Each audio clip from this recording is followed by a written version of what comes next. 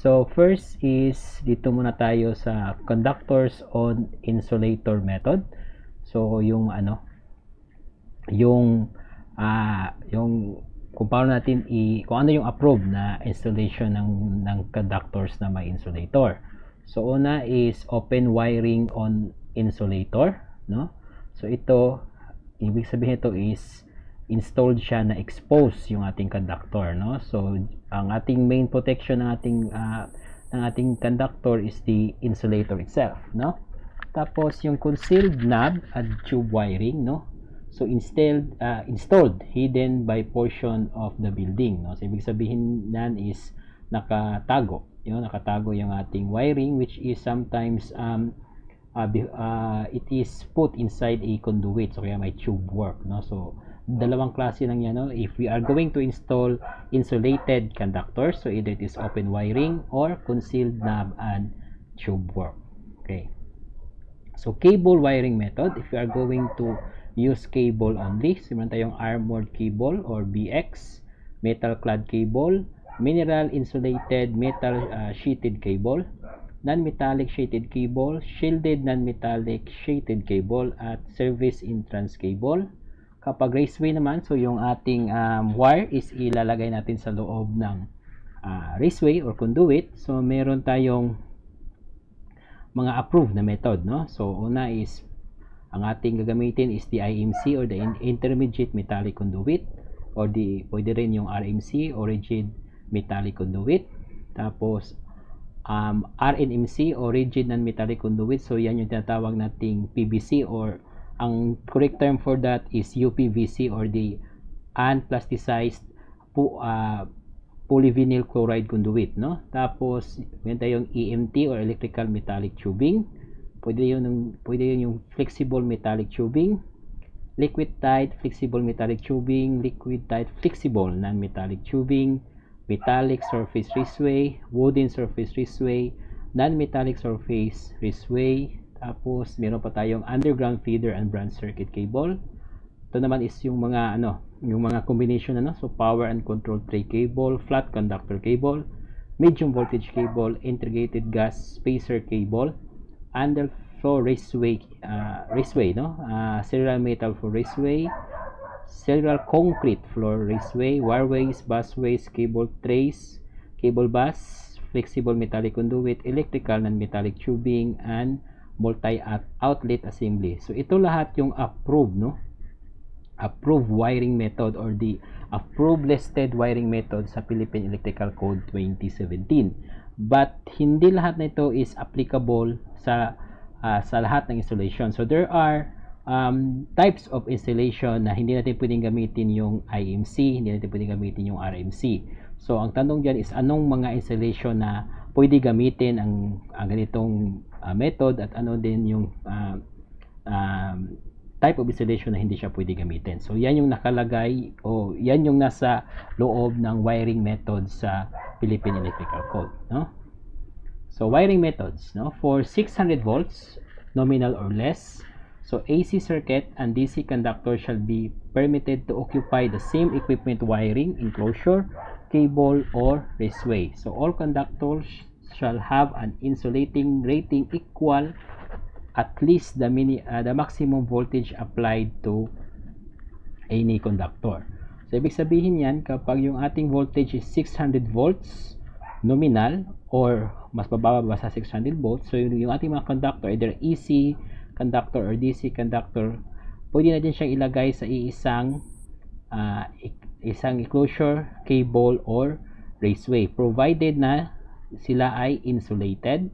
Tapos ang kanilang uh, circuit voltage or their their uh, voltage rating is at least the maximum circuit voltage ng ating ng ating circuit na kung saan uh, ga, kung saan ga, gagamitin natin yung na conductor no? If it is over 600 volts nominal so conductors rated over 600 volts shall not occupy the same equipment wiring enclosure cable or raceways unless permitted. So the following listed are are are permitted to be in the same path. So ito 'yon, no? So kapag mo over 600 volts, so meron na siyang mga special conditions, no? So nakalist dito yung ano, yung anong mga yung anong mga uh, pamamaraan na pwede nating um, ba, pwede nating gawing isang path lang yung ano, yung mga uh, yung mga yung mga conductors which is rated over 600 volts yung kanyang nominal voltage ng system. So, secondary wiring to electric discharge lamp of 100 volts or less. Then, primary leads of electric discharge lamp ballast, excitation, control, relay, and ammeter conductors use individual motor or starter. So, so ito sa motor control. Tapos, one motor, switchgear, and control assemblies and of similar equipment conductor. Tapos in manhole, no, so conductor of each system is permanently and effectively separated from other system. So yan lang yung mga pamamaraan na pwede nating ipunin yung ating uh, conductors in the same path if our uh, rating of our uh, system rating voltage is over 600 volts. Then protection against physical damage. So either exposed and concealed location installed in joints, rafters, or wood members. No? Holes must not uh, be less than 3, uh, 30 mm of the nearest edge. Tapos yung screw penetration nails by a steel plate or bushing shall be at least 1.6 mm thick. So ito yung ano yung installation ng ating uh, cable if in case our cable is our, our wire is installed either exposed or concealed. So kapag exposed, so if we are going to use uh, to use nail or steel plate so may ano may thickness no ng kanyang clip tapos kapag namag nasa ano, kapag namag conceal tapos uh, kailangan nating magbutas, so meron siyang ano, meron siyang um, uh, diameter which is not less than 30 mm, no? Then cable and raceway through wood members, so dapat meron siyang hole tapos may notches in wood. Then non-metallic sheeted cables, electrical metallic tubing through metal framing members. So first, the non-metallic sheeted cable must be protected by listed bushing, uh, grommets, covering of all metal edges. No? So dapat meron siyang protection ng upang ang ating non-metallic sheeted cable ay hindi ma-damage yung kanyang insulation. No? Okay, then cables through spaces behind panel designed to allow access. Tapos cable and raceways parallel to framing members and fooring strips. Tapos cable and raceway installed in shallow grooves.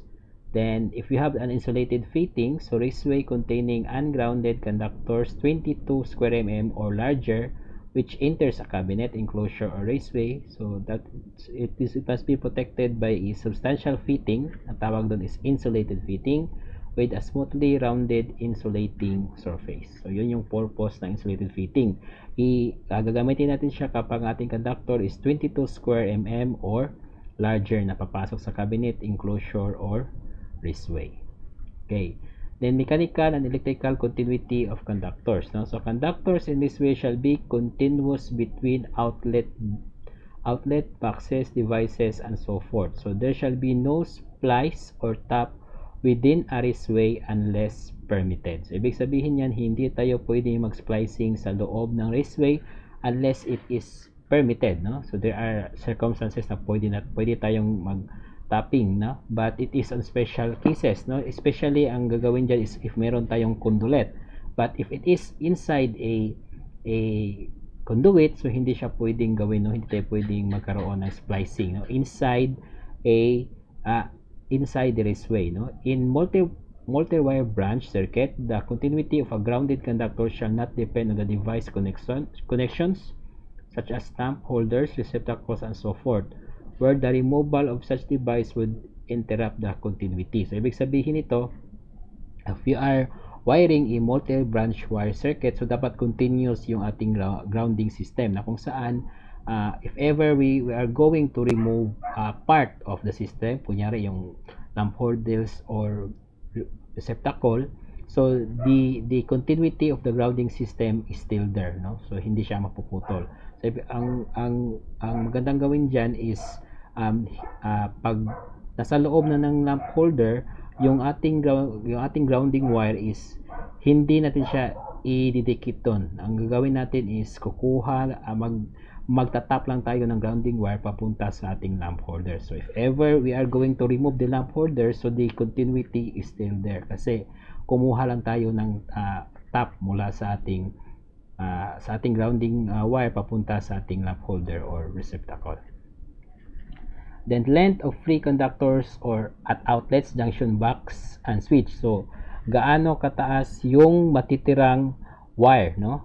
So, kunyari, uh, pag lumabas na siya sa junction box, so gaano kahaba yung wire na na na lalabas doon bago mo puputulin, no? So, the standard states that is at least 150 mm of free conductors from point in the box to the raceway or cable sheeted at each outlet junction and switch point for splices no so 150 mm pagkalabas niya doon sa kanyang uh, conduit no? 150 at least no? So hindi bababa ng 150 so that is um, the the 150 include the the length no? Kung gaano kahaba naman yung uh, yung yung kukunan mo ng insulation for splicing no? Kasama na dun sa 150 so at least 150 mm then wiring in ducts plenums and other handling spaces okay so the following are listed types of material that are permitted for wiring in ducts plenums and air handled spaces. So type MI cable, type MC cable without non-metallic covering. Tapos yung EMT, FMT, IMC or RMC without non-metallic covering.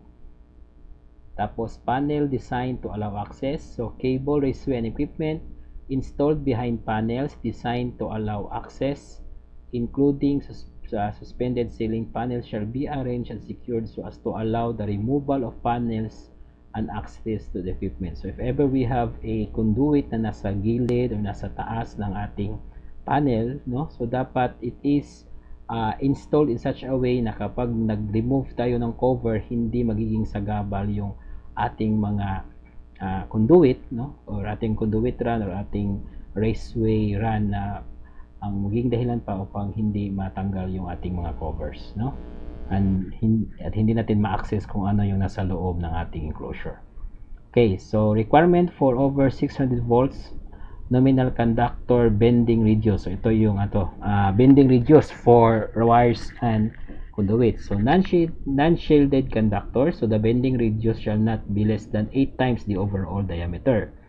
Uh, shielded or lead covered conductor, so the bending radius shall be 12 times the overall diameter. Then multi-conductor or multiplex single conductor. So yung yung conductor na sa isang length niya is may dalawa, tatlo. So yan din yung multi-conductor or multiplex single conductor.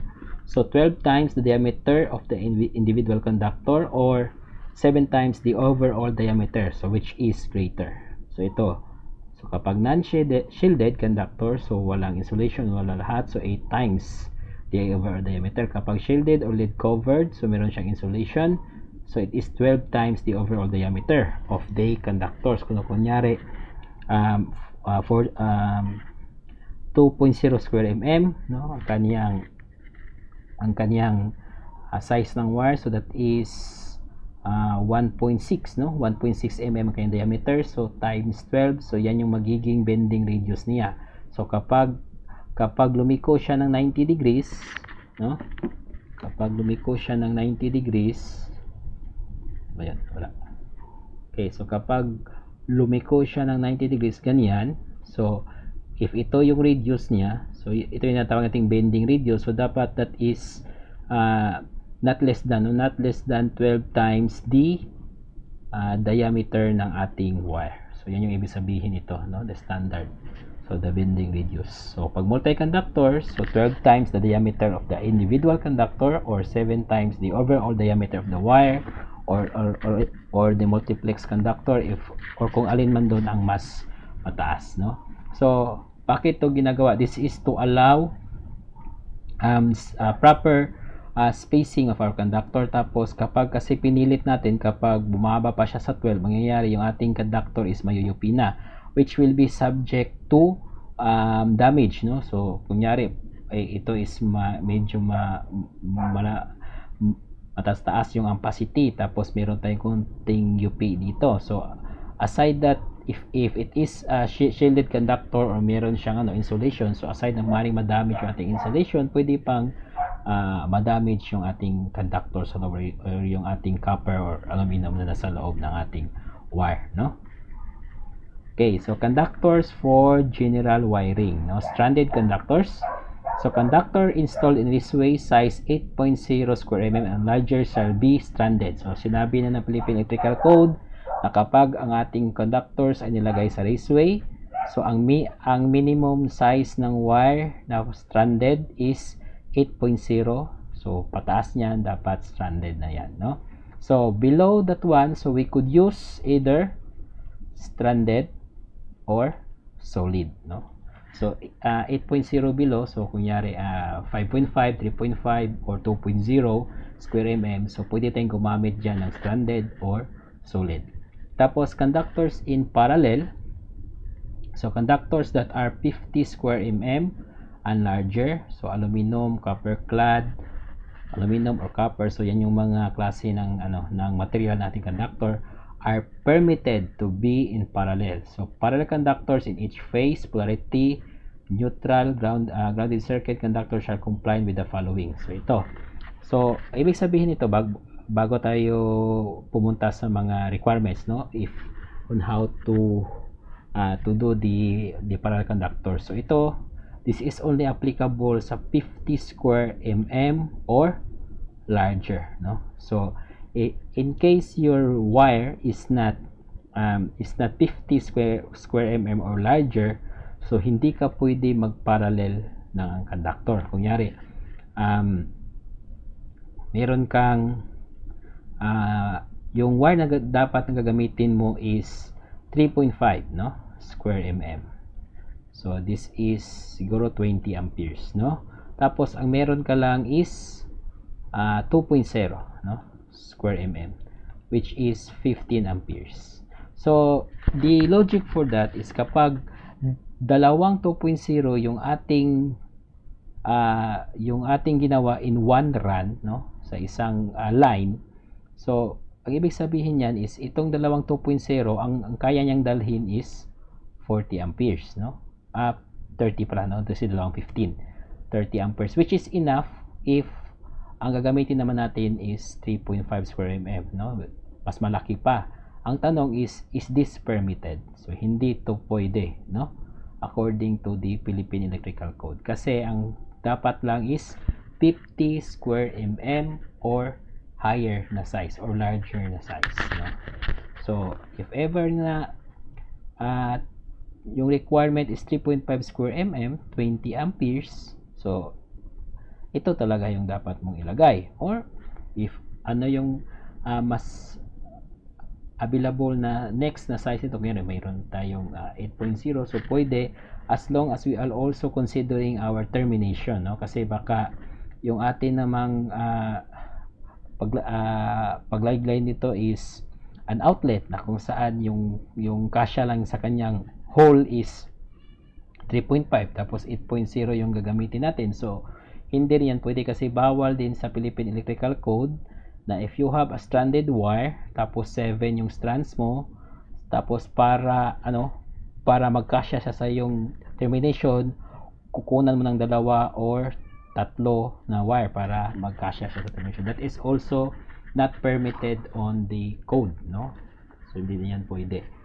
Okay so ito yung mga conditions no? Para maging para pwede tayong magparallel ng ating wire no? So dapat equal sila ng length. So for the whole run the length the length is equal. Same conductor material. So kapag yung isa copper so dapat yung ipaparallel na conductor is, is also copper so same cross sectional area the same insulation type so kunyari yung isa is THHN so dapat yung nakaparallel ito is also THHN tapos, be terminated in the same manner. So, kunyari, nasa breaker. So, kapag yung isa is naka-terminal lugs or naka-crimping lugs, so dapat yung isang linya din is naka-crimping lugs. Hindi siya pwedeng naka-mechanical lugs, no? So, yan yung ibig sabihin ng conductors in parallel, no? As to the standard for Philippine Electrical Code. Okay, shielded, no? Solid dielectric insulated conductors operated above 200 volts in permanent insulation shall have an ozone resistant insulation and shall be shielded, no? So ibig sabihin nito dapat it is protected from the reaction of ozone. So yung, yung kanyang ano, yung kanyang protection o kanyang insulation. Tapos dapat naka-shield din siya yung mga conductors na operated above 200 volts. So, merong table sa PEC ng uh, the wire ampacity of a wire. So, ang rating nun is 0 to 200 volts. No? So, applicable yan sa 0 to 200 volts. So, mamaya makikita natin yung table na yon. Tapos, if it is uh, above 200 volts, so ito na yung uh, kailangan natin gawin. So, dapat it is ozone resistant, yung insulation tapos naka-shield no? Okay so locations. So dry location. So insulated conductors and cables of any type can be used in dry location. So kahit anong klasing insulated conductor so it can be used in dry location dry and damp location so insulated conductors and cable used in dry and damp location shall be of the type so ito lang yung mga type for uh, dry and damp location. So, ito. Itong lahat ng mga insulation ng mga wire na to. No? Tapos, in wet location, so conductors in wet location shall be. So, nakaano din siya. May dalawang klase. So, uh, moisture impervious uh, metal shaded. Tapos, types MTW, RHW, and so on and so forth. So, ito yung mga permitted no, for wet locations. Okay. So, kung inyo makikita, ang lahat ng, uh, ang kadalasang wire na permitted in, in, in, wet, in wet locations ay, ay may W. No? So, ang, ang mnemonic niyan, kapag may W, so that will be conductors which can be used in wet location no? Kapag ano naman dry location okay so dry and damp location so kadalasan sa kanila is to no? So kadalasan sa kanila is mayroong H pero may iba mayroong walang mga H no? Tapos lo uh, location exposed to direct sunlight. So insulated conductors or cables exposed to direct rays of the sun shall be types that are sunlight resistance. So, yung mga wire which is uh, sunlight resistance, no? Tapos, marking. So, ano yung na, makikita natin sa cable, no? Sa, or sa cable, sa wires natin na, kanya, na nakamark sa kanyang insulation. So, ito yung requirement ng PEC. So, you have the maximum rated voltage, the proper type of letter or letters. So, kung kunyari, yung wire na yun is THHN, so dapat makikita din yun sa uh, sa marking ng wire. Tapos, pangalan ng manufacturer, trade, trademark or distinct marking of the manufacturer. Tapos, size in square, uh, in in millimeter square or millimeter diameter. So, uh, square mm na size niya, tapos yung kaniyang diameter in millimeter. Then, cable assemblies where neutral conductor is smaller than the ungrounded conductor. So kapag assembly siya, so dapat naka-specify doon ano yung laki ng neutral conductor, no? Para maano, para malaman na itong sa sa 7 na assembly ng ano na, ng, sa, sa 7 na nasa loob ng cable assembly may 7 na wires yung pinakamaliit yan yung neutral conductor or or the unground uh, or the grounded conductor so dapat nakalagay din siya sa marking lahat ng cable assembly. Okay, so methods of marking. So pwede siya surface marking. So the size in uh, in uh, square mm or mm diameter shall be repeated at intervals not exceeding 600 mm, no? So 60 cm or 0.6 meter. So every 60 cm or 2 foot uh, 2 feet so dapat nakalagay ang laki ng wire.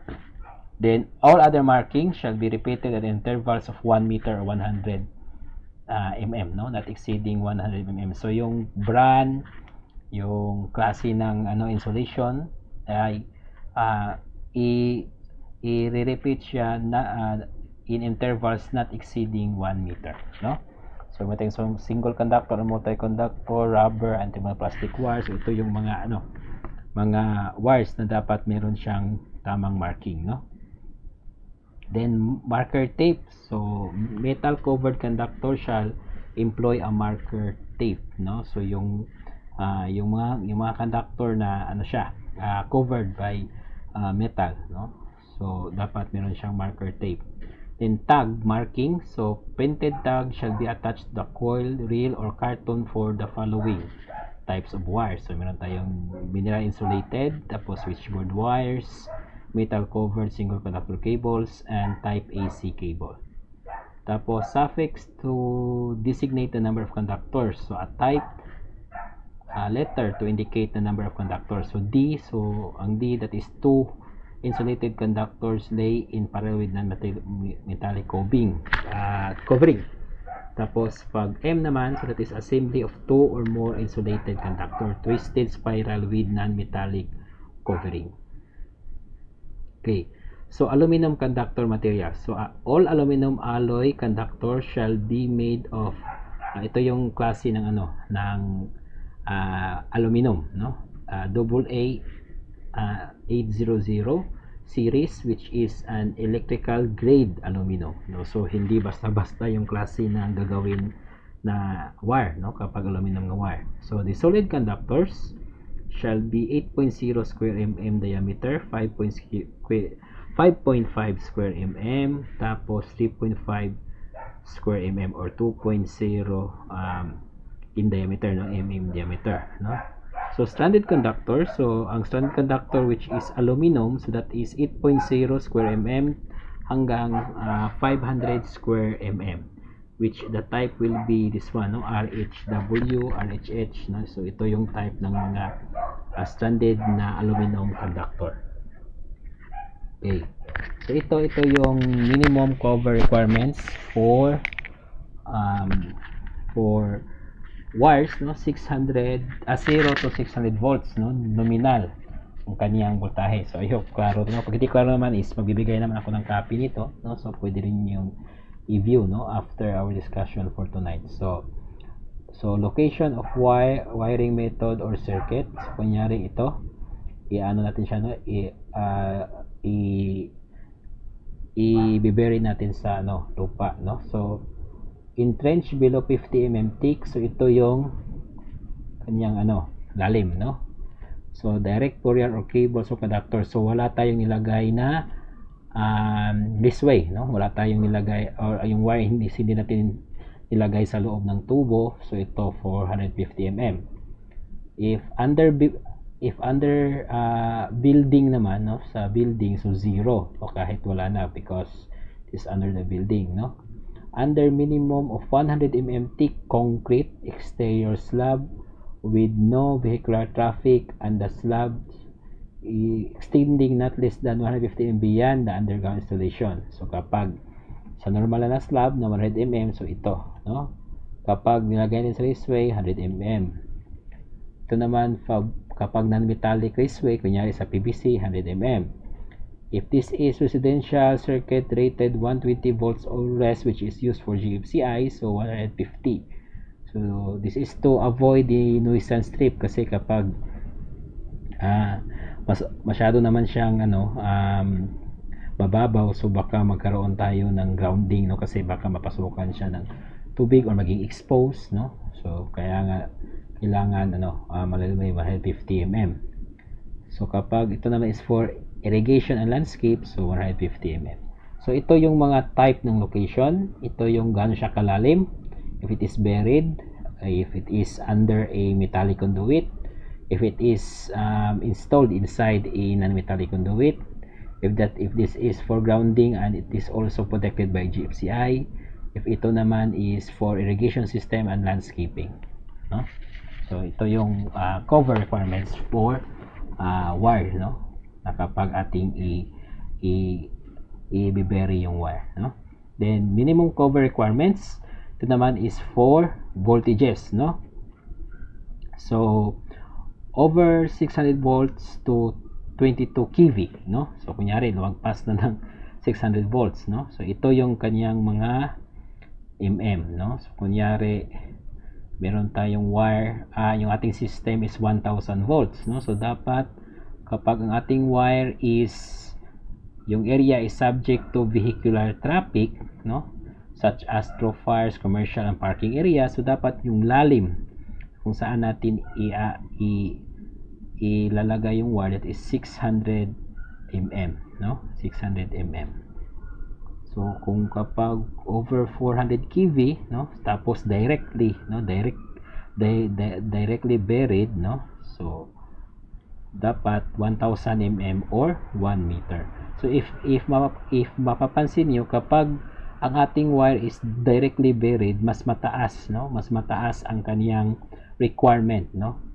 Ang, ang requirement ng lalim ng pagkakalibing ng ating wire. Okay, so this is the conductor application uh, and insulation. So yung mga klase ng insulation at kung ano ibig sabihin nila, no?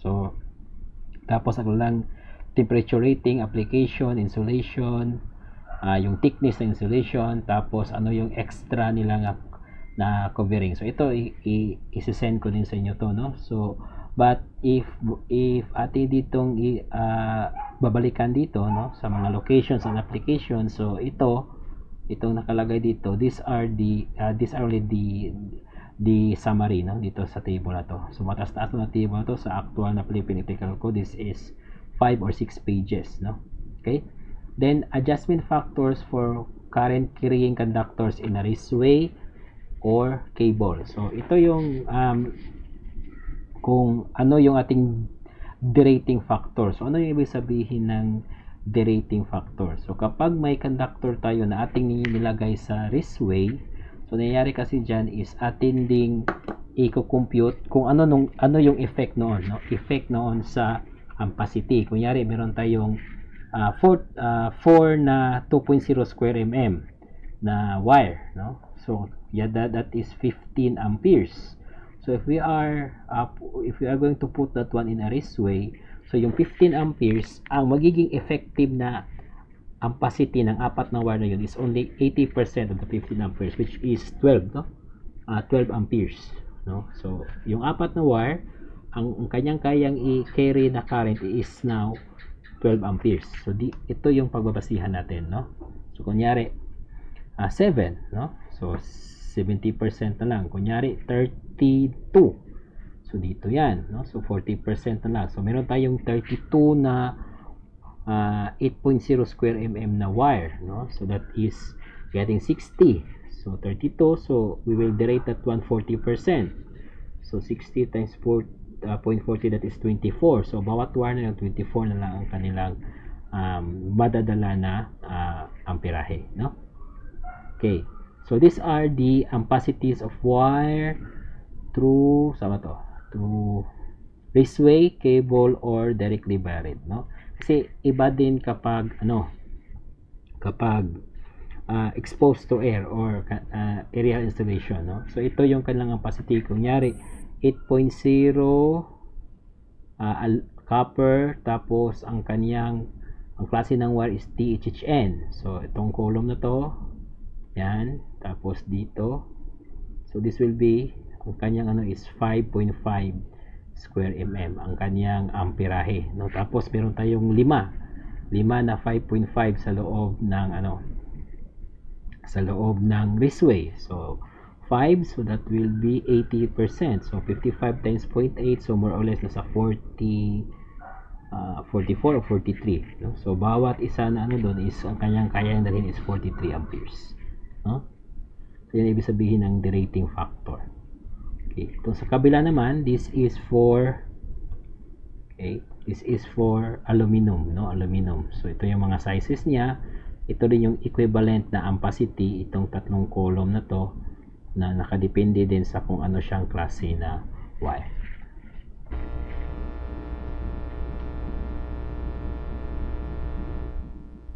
Okay. So, Conductor types and sizes for 120/240 volts, 3 wire single phase dwelling services and feeder conductors. So ito yung mga special conductors no. So like 22 square mm or 30 square mm. So ito yung kanyang service or feeder rating no. So these are conductors 22 square mm and higher, no? Tapos dito tayo sa cabinet cutout boxes and meter socket enclosures, no? So installation so surface type, so pwede tayo sa damp, wet or position in a wall. So if it is on damp location, so uh, shall prevent moisture from entering and shall be with at least 6 mm airspace from the wall or of supporting surface. So 6 mm. Kapag wet, kapag wet location naman, dapat ang kanyang rating is weatherproof with at least 6 mm airspace from the wall. Kapag position in wall, so it's, it installed in wall, concrete or tile or non-combustible material. So cabinet shall be installed so that the front is not set back of the finish or surface. So hindi siya naka yung yung ano niya, yung front edge niya is yung edge na kung saan siya pwede siya mag-open is hindi nakaharap doon sa ano sa ating um, uh, sa ating sa ating wall kung saan hindi natin pwede mabuksan yung cabinet. Which is at least uh, yung ano naman niya yung space niya from the from the uh, edge is 600 mm uh, no 6 mm 6 mm Then enclosure for switches or overcurrent devices. So shall not be used as junction box, no? So yung ating switches, so the the enclosure for switches or the boxes for switches is ang tawag natin diyan is utility box, no? Kung saan doon natin ilalagay yung ating um, switch, no? Yung ating flash type na switch or yung kapag ang switch natin is embedded on the wall, so ang gagamitin natin is utility box. So, yung, yung utility box is hindi pwedeng gamiting junction box. So, yung overcard devices naman, that is the panel board. So, the panel board shall not be used as junction box, auxiliary gutters, or raceway for feeder conductors unless so meron siyang adequate space provided for this purpose. No? The conductor shall not fill the wiring space at any cross-section not to more than 40%. So, di, ang ang tawag dito is the conductor field no? Percent conductor field. So kung yari meron tayong um 100 square mm na box. So dapat yung ano yung yung conductor natin na pwede nating ilagay doon so dapat hindi siya lalagpas sa 40% na area ng box na yon so kung dapat nasa ano lang siya nasa 40 no? 40 square mm okay So top shall not fill the wiring space at any cross section to more than 75%. So if we have the topping or splicing, so dapat hindi rin siya 75% ng ating wiring space or ng ating junction box, no? Construction specifications. So for cabinets, cutouts, and meter sockets, so dapat strength. So 1.35 mm coated ang kanyang thickness. Tapos the spacing, so dapat sufficiently spacing So the base is 1.6 between the base of the device and the wall of the cabinet. So meron siyang proper spacing no. Tapos yung door shall be at least 25 mm between any live parts no. So ang door natin lalo na if it is metallic so dapat 25 mm between any live parts. So that is the minimum. No? Live parts so airspace of at least 13 mm between the walls back and gutter partition. So spacing, spacing shall be increased for at least 25 mm for voltages 251 to 600 volt nominal. So kapag lumagpas na ng 250, we will add 25 uh, mm no for voltages no. So magiging ano na uh, 13 plus 25 that will be 38 mm no. Then outlet device pull and junction box conduit bodies or the conduits fittings and handhold enclosure. So kapag round boxes, so round boxes shall not be used uh, where conduits require to use lock nuts, bushings, or side of the box. Kapag non-metallic naman, so as permitted only when open wiring on insulators, concealed knob and tube wiring, cable wiring methods with entirely non-metallic sheet flexible cords and non-metallic raceways. Okay, so pwede naman tayong gumamit ng non-metallic box if our um, if our um, if our conduits or our our raceway are also non-metallic okay short radius conduits so uh, cap elbows or the entrance cap or the service entrance elbow that enclose conductors 14 square mm or smaller shall not contain splices, tabs, or devices and have sufficient size to provide space. So 14 mm uh, na, na conductor, service entrance conductor or smaller, dapat wala tayong tapping or splicing inside the elbow or the service entrance na cap. Okay. So surface mounting, so our we could enclosure mounted in the surface shall be secured and re rigidly fastened in place. So, dapat matibay yung pagka, ano niya, lagay niya, no?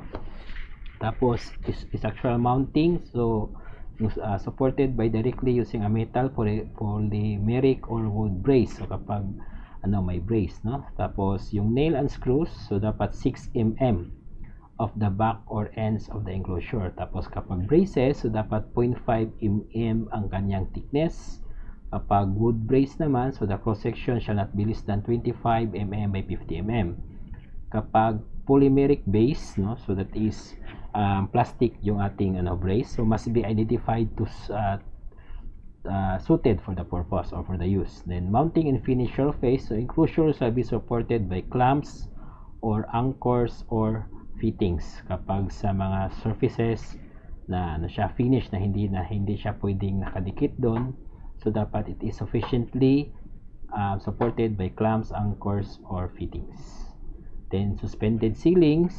So, dapat um, the the suspended ceiling shall not be more than okay so it shall not be more than uh, yung ano niya yung volume niya shall be more than 6 1,650 square mm. No? So, framing members. Tapos, ito pa rin yung mga supported niya. So, meron siyang ano, um, uh, distance ng mga conduit. No? Okay. Tapos, yung outlet box natin. So, yung lalim ng outlet box. So, ang internal depth should not be less than 13 mm. Tapos, yung boxes enclosing flash device. So, yung depth niya is dapat hindi bababa ng 24 mm yung maximum na weight ng ating luminaire is uh, so uh, outlet box shall be permitted to support 23 kilograms or less na luminaire so kapag kapag lumagbas na dyan so dapat meron tayong bracing or hangers no? Then boxes at ceiling suspended or paddle fan outlets. So dapat uh, yung kapag kapag ang ano niya is not more than 32 kilograms so pwede natin siyang ang uh, it, should not be supported by its uh, so, uh, pwede na siya na yung support lang niya ng ng sariling uh, box na yun natin gagamitin or if it is uh, if the outlets designed to support fans weighing 600 kilograms or uh, 16 kilograms or more so dapat um, the marking shall include the maximum weight to be supported no tapos, pull and junction box and conduit bodies. So, straight pulls. The length of the box shall not be less than 8 times the raceway size of the largest raceway. So, kunyari straight pull. So, pull box natin. So, dapat yung kanyang uh, yung kanyang um, size, no? Size niya, kunyari, the area itself shall not uh, be less than 8 times the largest raceway. So, kunyari, yung raceway natin is 1 half, no? tapos papasok siya sa pull box so ay, yung ating pull box the area of the pull box must not be less than 8 times no? So so yung pinaka minimum na area na pull box na gagamitin natin is 4 no? 4 then angle or U pulls no? The distance between each raceway entire box and the opposite wall of the box shall not be less than 6 times the raceway size of the largest raceway no? So kapag yung box natin, U-poles, no? Kunyari ito yon no? Tapos dito maglalagay tayo ng raceway, tapos anang pull box papunta diyan. So dapat yung ano, yung yung area ng box na to is not less than 6 times, no? 6 times ng ating uh, ng pinakamalaking size ng raceway. Okay, then metal boxes, conduit bodies and fittings shall be corrosion resistant the thickness of the metal if it is uh, if ito ay metal so 1.6 mm tapos pwede rin 2.4 mm depending on the type of material. Tapos other cast metal boxes of conduit shall have a wall thickness of not less than 3 mm no? Yung kanyang gauge no? Uh, thickness uh, uh, thickness gauge ng ating ano metallic conduit then pole and junction boxes for use on system over 600 volts no? Kapag 600 volts na over no mataas na 600 volts so the street pole so 48 times no? Itong kanina kasi compared sa kanina ano lang 8 times lang. Kasi this is for 600 volts and below. Kapag lumagpas ng 600 volts so 48 times no? The diameter of the largest cable or kapag U poles naman or angled so 36 times no? So, paano ba yan gagawin, no? Anong shortcut ito, no? Kapag 600 volts below, um, yan yung ano, 8 at 6, no? Kapag umabot na ng 600 volts, ang gagawin nyo lang, 8 times nyo lang ng 6, no? So, kunyari, yung kanina, straight pole. So, 8 times 6, that will be 48. Kapag U-poles or angled, so, 6 times 6, kaya 36. So, ganoon yun para madali nyo maalala, no? Then we have now the one of the approved no wires which is the armored cable so armored cable ito yung kanyang definition as per the chapter 1 ng PC so assembly of insulated conductors in a flexible metallic enclosure. So ang kanyang insulation is 90 degrees Celsius. Ang kanyang bending radius is not less than 5 times the diameter no? So it, ang kanyang six, uh, pag-secure sa kanya, no? support, uh, the, the secure, kung paano siya i-secure sa uh, pag nasa, ano na tayo, nasa termination, nasa box na, so that is 300 mm within every outlet box or cabinet or junction box. Then the maximum intervals for horizontal support, so that is uh, 100, uh, 1,400 uh, mm, no? So, ito, mm to hindi to meters, mm. Yan. Okay, so the uses permitted and uses not permitted. So, type AC, so AC stands for armored cable. So, pwede siyang gamitin in both exposed and concealed work, in cable trays, in dry location, embedded plaster, tapos to be run or fish in air voids of masonry block.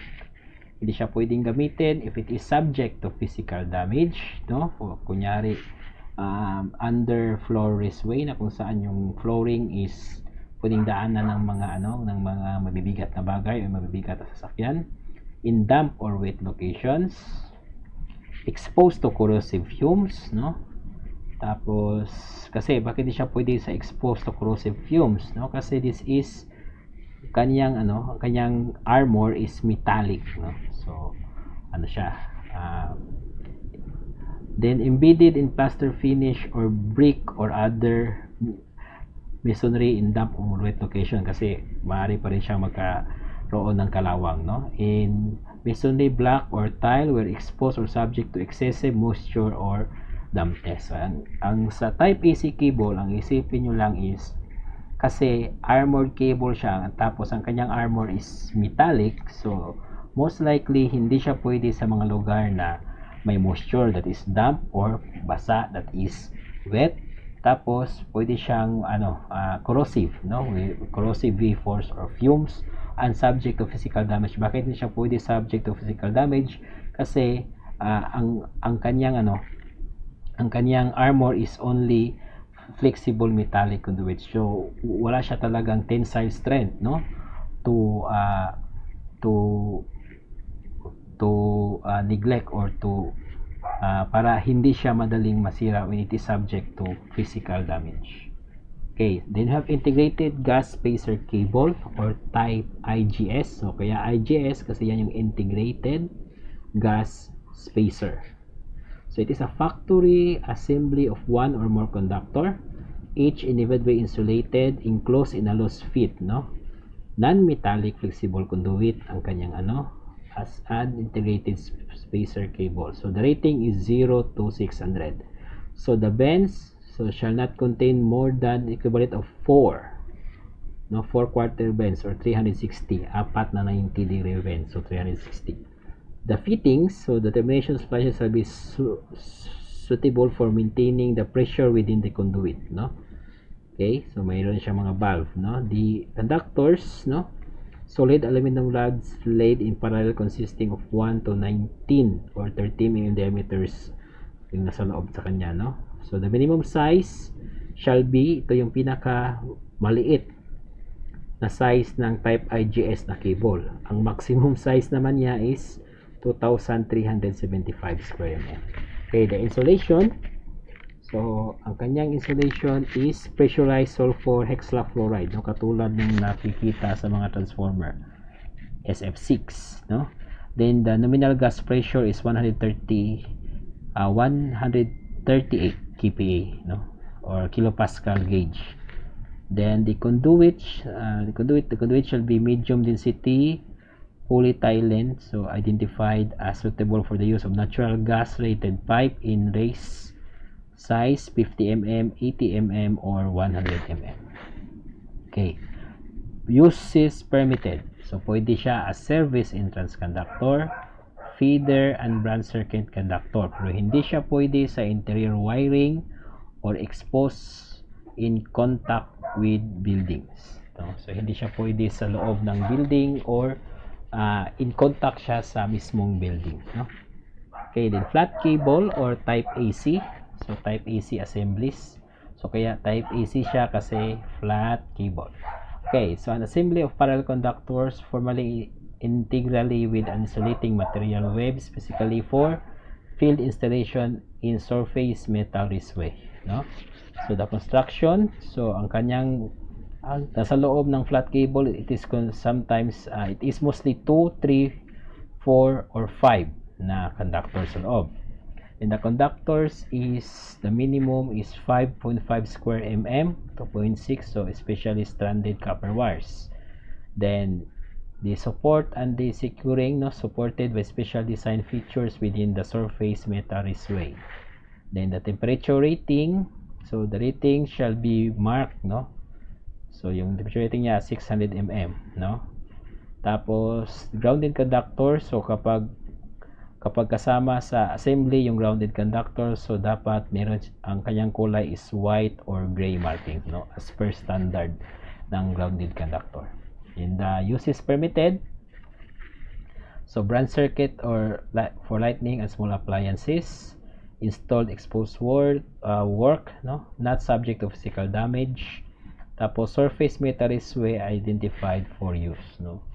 Tapos power siya sa corrosive, no, parang katulad sa AC uh, type AC na cable, hoseways or elevators na kung na ano din siya sa uh, subject of physical damage in hazardous location. Tapos outdoor in wet or damp location. Okay, then uh, flat conductor cable, so type FCC. So kaya type FCC kasi flat conductor cable, no? So, three or more flat copper conductors, space, edge, and edge separated and enclosed within an insulating assembly. No? So, meron siyang bottom shield, top shield, at cable connector. No? So, yung FCC, so ang kanyang voltage, siya natin is 300 volts. Tapos, the current, so po niya 4 post dapat 20 amperes at 30 ampere rating no? for individual branch circuit. So, uses permitted, no? So, floors, walls, dump location, heated floors, system height, which is na exceeding 2.3 mm shall be tapered. So, meron na siyang ano, tapered from the uh, from the edges of the floor level. Tapos, covering niya is not larger than 300 mm square, no? Use is not permitted, so outdoor or wet location, subject to corrosive vapors in a hazardous location and in residential school and hospital buildings okay then type MV so MV stands for medium voltage these are the multi-conductor cable which is 200 volts or higher ang kanyang rating no? So it could be copper aluminum or copper clad aluminum conductors. So it is permitted in wet or dry location sa raceway, sa cable tray, directly buried or direct burial or as messenger supported wiring no? Tapos hindi siya permitted directly exposed to sunlight sa ano sa loob ng cable tray na hindi siya naka-specify tapos di- uh, direct burial which is not in accordance with the code. Okay, then service entrance cable. So, ah ito, dalawa to kasi yung SE, this is um, service entrance, habang yung ano naman, yung USA, this is underfloor, underfloor um, or underground service entrance. No? So, the type SE and type USE. But they are the same. No? So, they are used for service entrance. Ang kanilang bending radius is 5 times the diameter of the cable. Tapos, ito na, no? So, of course, their main use is for service entrance. So, the the the uses permitted nila is for the service entrance, no? Then metal clad cable or type MC. So, metal clad. So, a factory assembly of one or more circuit conductors uh, with or without optical fiber members enclosed in an armor interlocking metal tape no or smooth corrugated met metallic sheet no so ito yung kanyang permitted so medyo madami-dami ito no for service entrance feeders power indoor and or outdoor exposed or concealed to be directly buried in cable in this way. Aerial cable hazardous location which is classified and also specified as permitted in dry location in wet location then in metallic covering. To tapos where single conductor are used all phase conductors are used natural conductors shall be grouped together.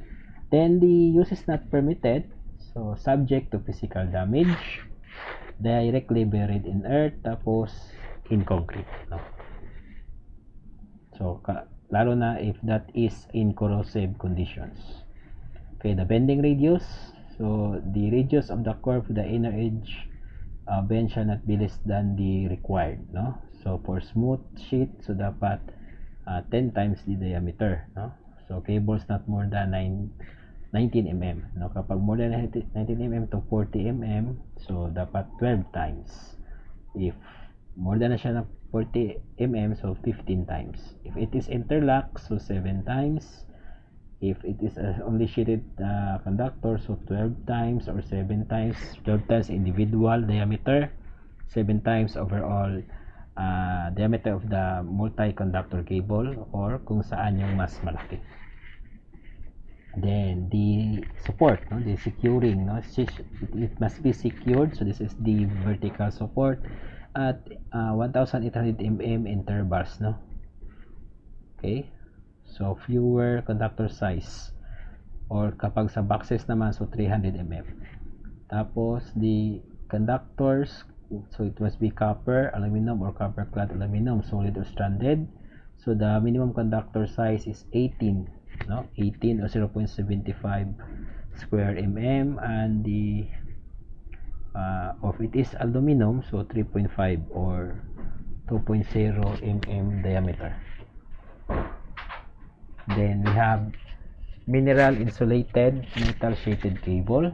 So it is a factory assemb as assembly of more than one, one or more conductors no? Enclosed siya sa liquid liquid tight and gas tight continuous copper alloy steel sheet no? So the conductors uh, solid copper nickel or metal coated copper. So, ito yung mga permitted niya no? Service for power dry indoor exposed or concealed embedded in plaster hazardous exposed to oil tapos underground at attached to cable 3 no it is not permitted underground runs unless it is protected from physical damage. Exposed to uh, exposed condition to destructive and corrosive no? Yung bending radius no? So dapat katulad nung sa kanina no? Nung yung sa ano metal clad. So dapat 5 times 19 mm diameter if more than 25 uh, more uh, 19 mm but more than 25 mm 10 times no? Yung kanyang uh, support is 1800 mm intervals no? Then power and control tray cable or type TC so these are factory assembly one or more insulated conductors with or without associated bare or covered uh, grounding conductors under a non-metallic sheeted uh, jacket no? Non-metallic jacket no So it is permitted for power and lighting control in signal circuits, no? Cable trace raceways in outdoor location by a messenger wire sa class 1 circuit, no? Then for non-power limited fire alarm circuit, so itong power and control tray cable, so sa fire alarm system pwede yan. In industrial um, establishment, tapos in wet location, and shall be resistant to moisture and corrosive agent. Okay?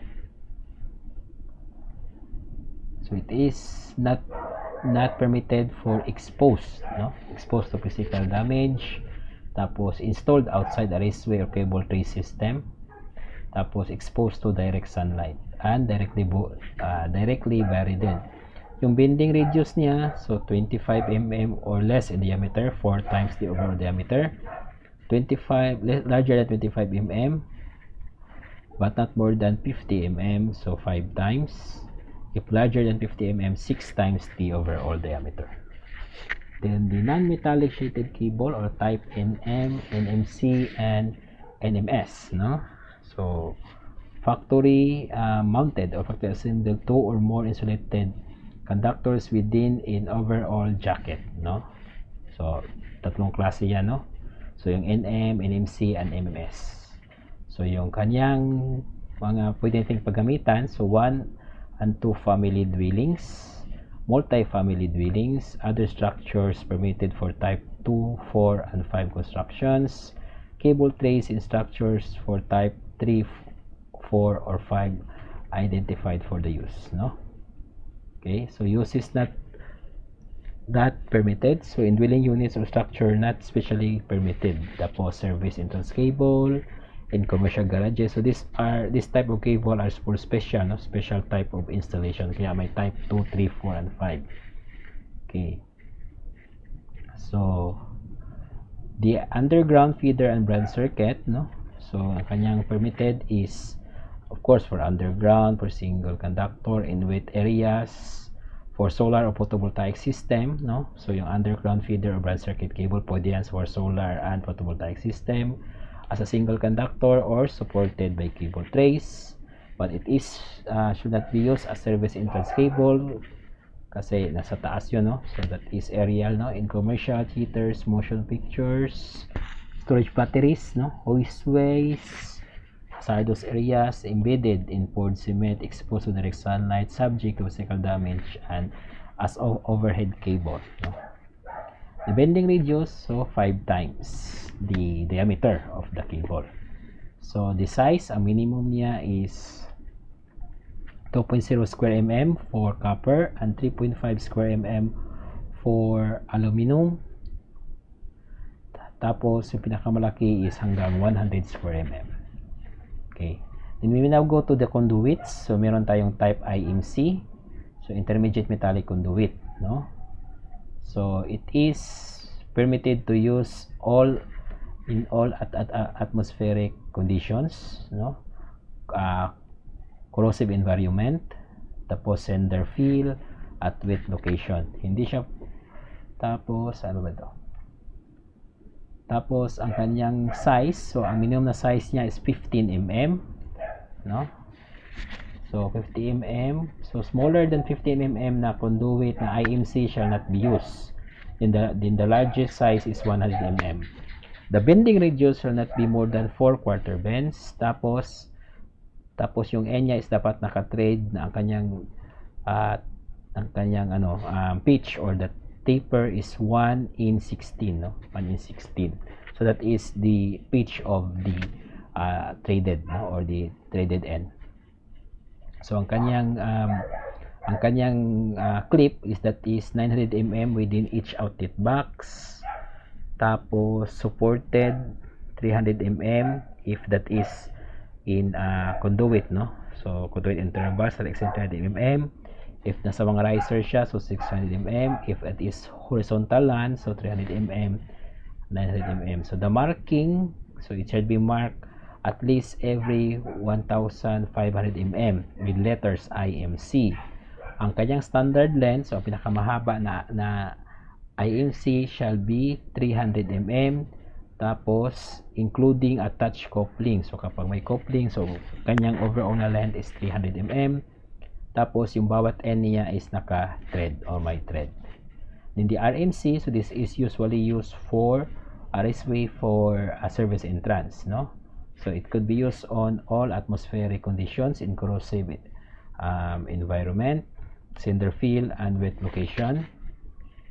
So the size so same lang siya sa ano sa IMC but for RMC yung pinakamalaki na size na pwede natin gamitin is 150 Compare, compared to IMC na ano lang 100 mm sa RMC that is 150 mm the bending radius is the same. Tapos ang kanyang taper or pitch ng thread is 1 in 16 so the support is basic, uh, basically the same no? So 90 mm 300 mm 6 uh, 3000 mm 6000 mm and 3000 mm 90 mm with horizontal run tapos yung marking niya dito nakakaiba. So sa ano sa IMC that is uh, 1500 mm yung marking na ano na nakalagay doon. But it for RMC that is 3000 mm ang standard length is the same no?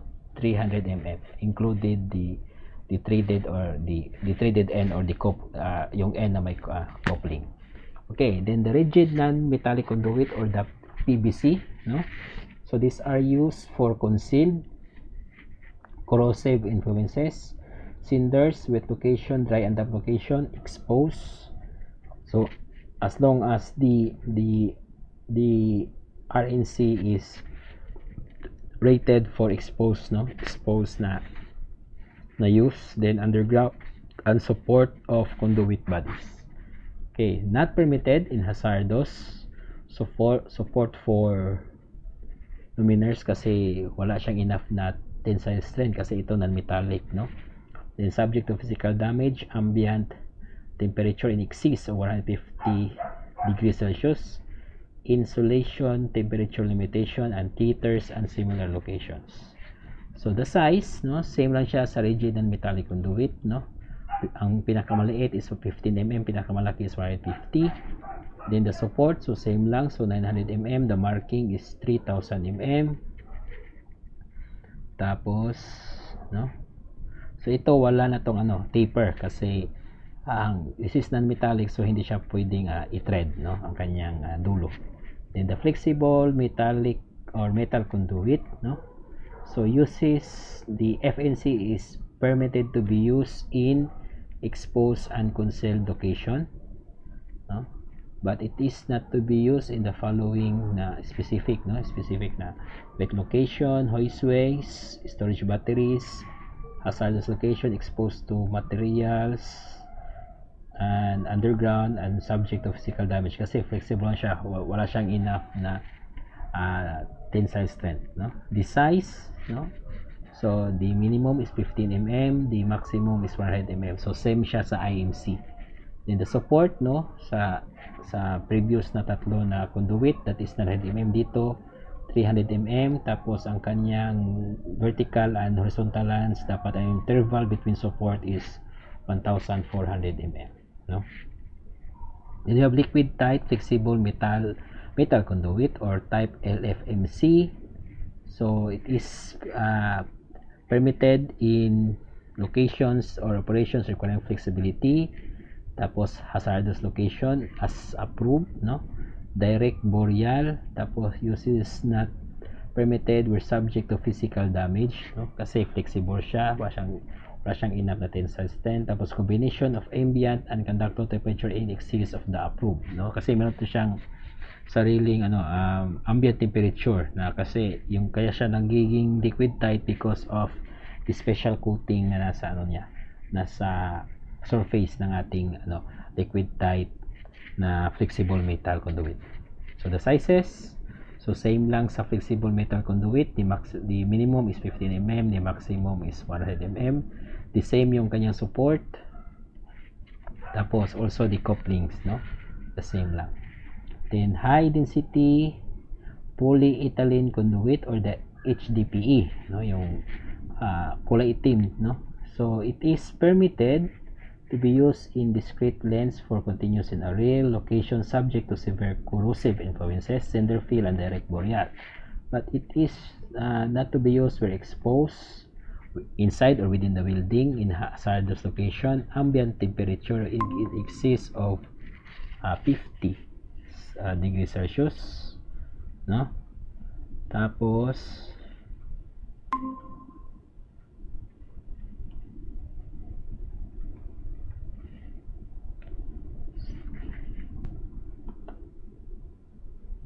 wala yata yung screen yun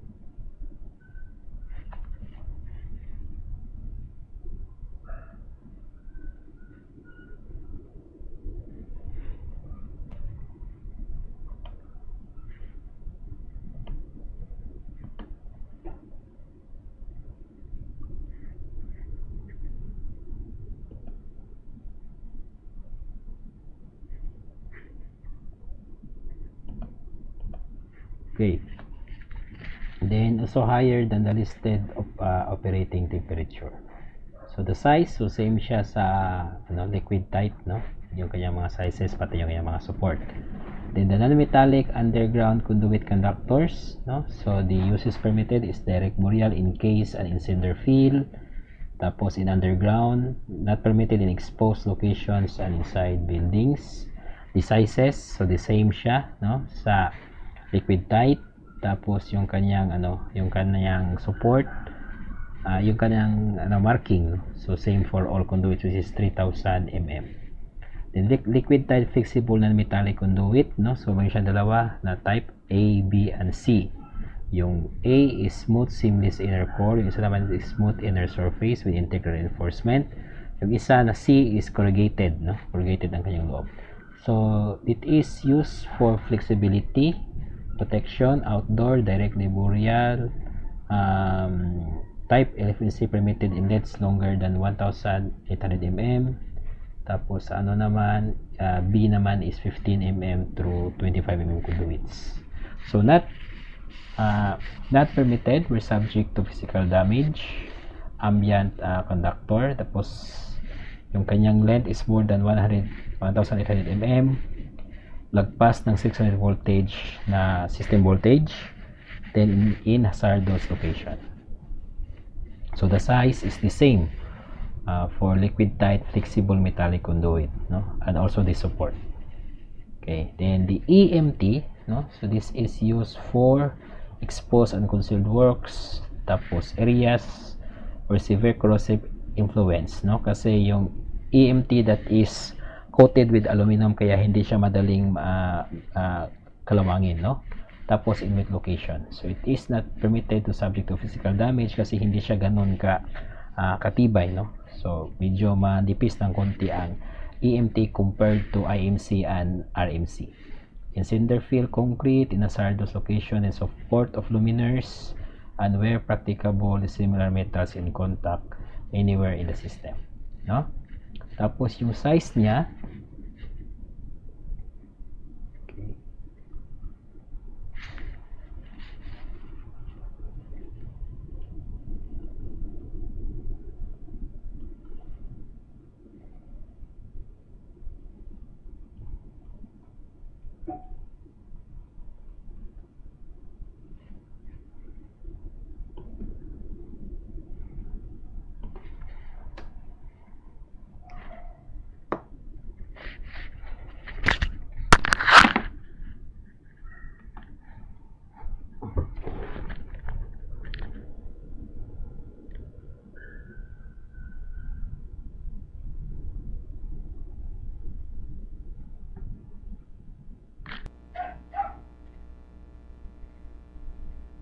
Tapos, the flexible metallic tubing or FMT. So, ang kanyang wire, ang kanyang size is 15 mm, yung pinakamalaki is 200 mm, at 20 mm. No? Then, per, it is permitted in dry location, concealed, inaccessible location, for system voltage maximum 100 volts. Okay, tapos hoistway, storage batteries, hazardous location, boreal, subject to physical damage tapos over 1,800 mm hindi siya pwedeng gamitin. Okay? So itong ENT so this is same no?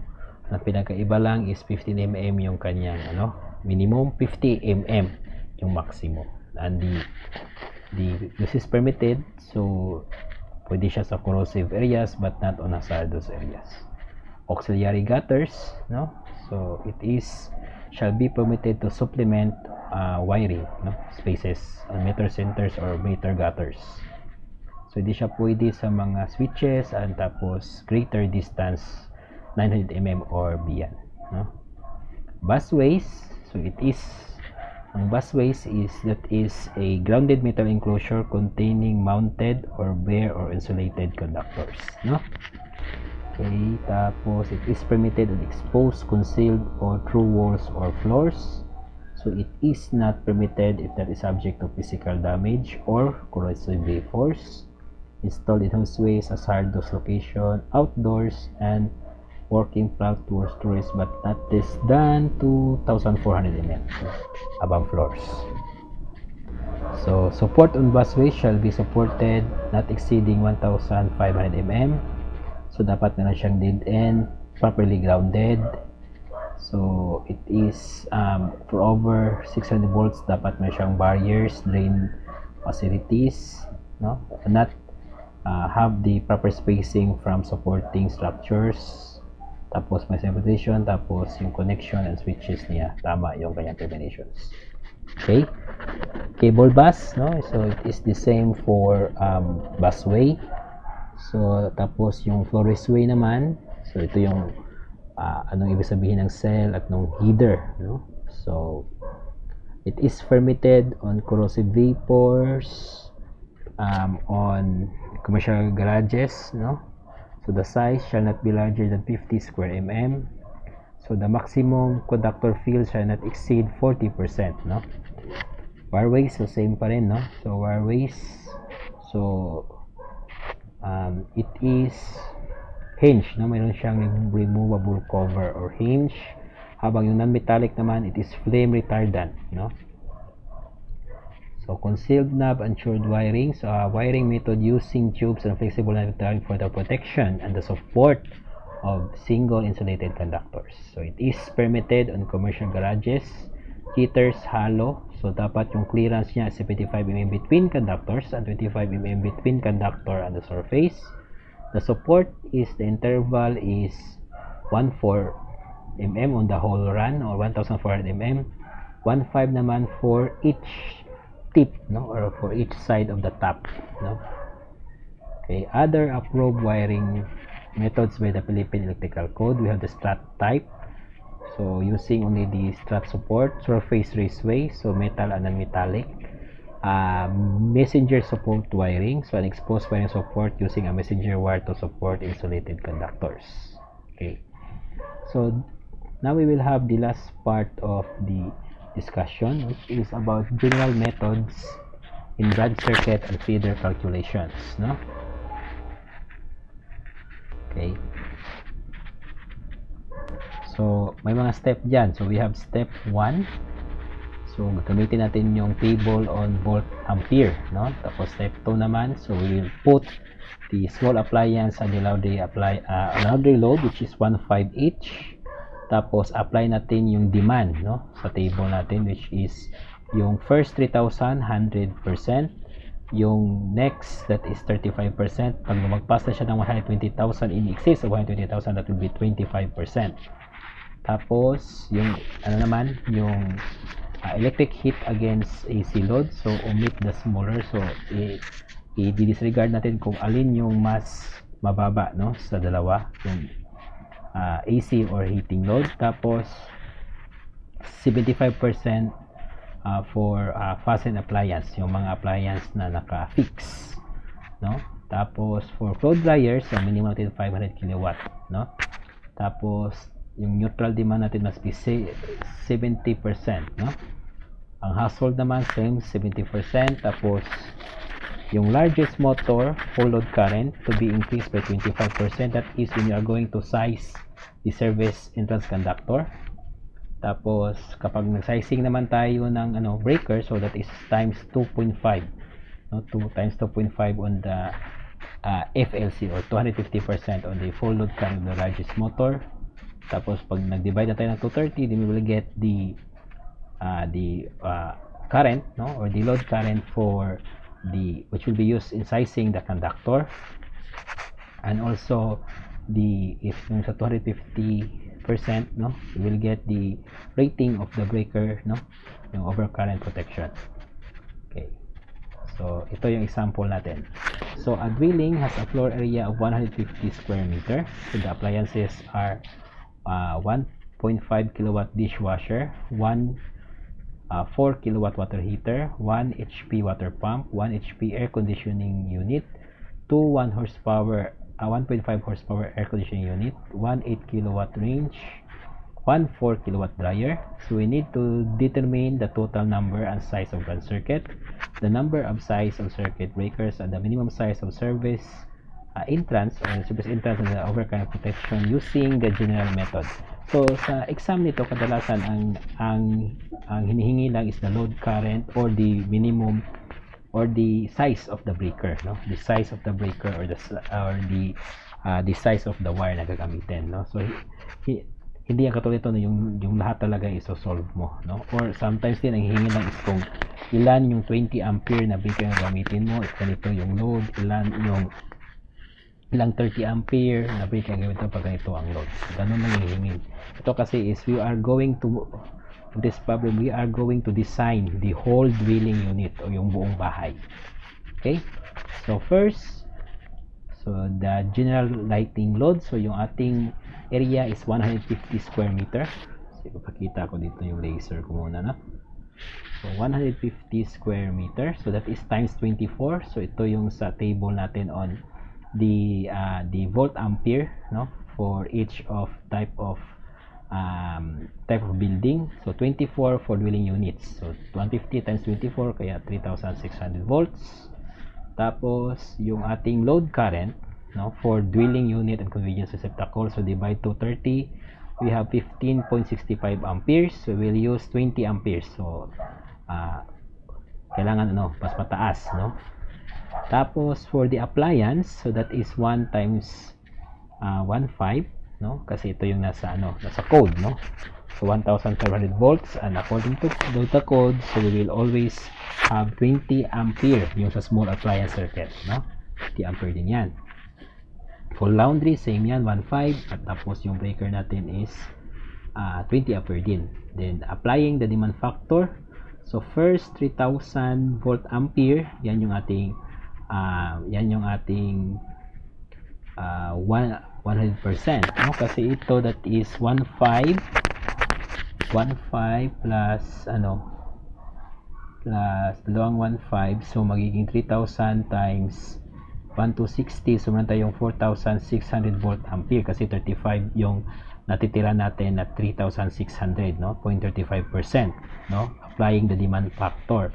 So for our um, first group of load which is for the general lighting convenience and the small and laundry circuit load. So yung ating subtotal for the volt ampere is 4,000 uh, 4,260 volt ampere. The next will be the second group which is all about the appliances where are it fixed no? Yung malalaking appliance. So we have the 1. kilowatt dishwasher. So that is 1.5 volt ampere. So this is based on the nameplate rating So, use 20 ampere na breaker. Tapos, yung sa water heater natin din. So, this is based on the nameplate rating. So, 4,000 volt ampere. So, 20 amperes. For the 1 horsepower, so that is 8 amperes. So, 230 volts. So, this is based on the table of single phase motor, no? Which will be our topic for uh, next week, no? So, kaya 8 amperes for 1 horsepower. And for 1.5 horsepower, single phase 230 volts no? motor so that is 10 amperes. So ito 8 kasi 1, 1 ampere lang so 8 times 230 that is 1800 volt amperes. So for the three appliances ang kanilang demand factor is 100 kaya i-add lang natin to sa lahat. So we have 7300 volts. So they are uh, this is the uh, subtotal for the for this group of loads no? Tapos the last group So dito yung i-consider natin yung mga aircon at yung um, heating system, no? Pero kung alin yung, alin yung mas mataas, so yun talaga yung i-consider natin. So for this one, we have the 1 horsepower ACU so 8 times 230 so 184 uh, 1840 volt ampere tapos 100 yung kanyang demand factor so yung ating breaker is 30 amperes so because the minimum the minimum um, circuit breaker for aircon air, um, ECU load is 30 amperes no? Habang dito naman sa 2 1.5 ECU so ito dapat 30 to hindi to 20 no? So that is 4600 volts kasi 10 amperes yung kanyang ano yung kanyang full load current per per uh, per unit na 1.5 horsepower so 10 times to 30 equals 460 no kasi may times 2 pa yung ating ano circuit breaker no sa hindi yan 20 dapat 230 yan ibahin ko muna yung ano yan. So, 30 amperes. Okay.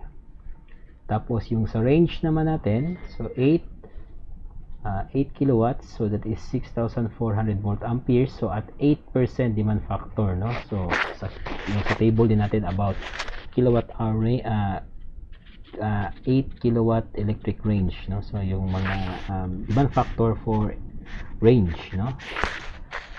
So 40 ampere yung ating circuit breaker.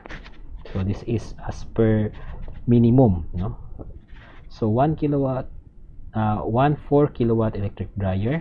So according sa Electrical Code, yung minimum is only 5 kilowatts. We have 5 volt amperes. Now provide 130 ampere dryer circuit, no? So ang total nila dito is 1,007 17,840 So kasama tong sa mga aircons, no?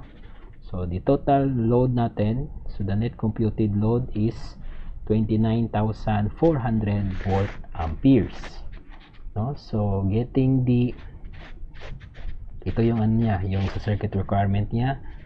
Tapos dito tayo sa service entrance, no? So ito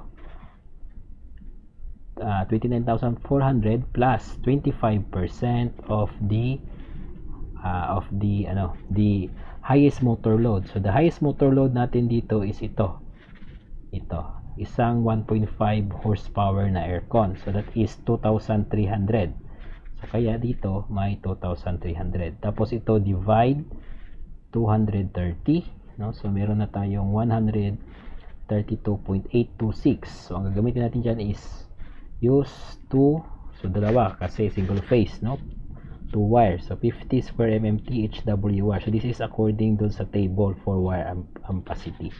So kunin natin dito doon yung uh, laki ng wire na kasya dito sa 132.826 na ampere. Then for the service equipment, so ito, no? So itong 2940, so i-minus natin yung 2,300 kasi itong 2,300 kasi i-multiply natin yan ng 2.5 no 2.5 so tapos divide to 30 we have 142.816 ampere. So ang gagamitin natin no? So pwede natin gamitin yung 200 ampere trip or pwede din yung 150 ampere na circuit breaker no?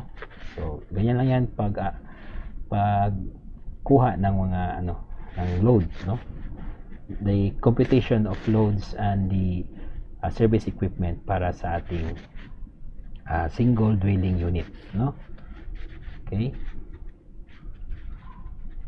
so in in actual so lalo na kapag nasa commercial na tayo no commercial computations no for example condominiums no apartment. So, gagamitin natin yung ano, yung demand factor for multi-dwelling unit na naka-table din sa uh, na, na discuss natin sa chapter 2, no? But ang ang ang gagawin pa rin doon is kailangan pa natin kunin yung ano, yung ano, yung ito, yung load niya, no? For lighting, for the the the fixed appliance and for the ECU slash HVAC kasi ito HVAC load to, or heating load no?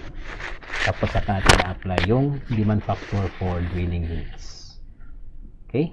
So I guess yan ang lahat no? So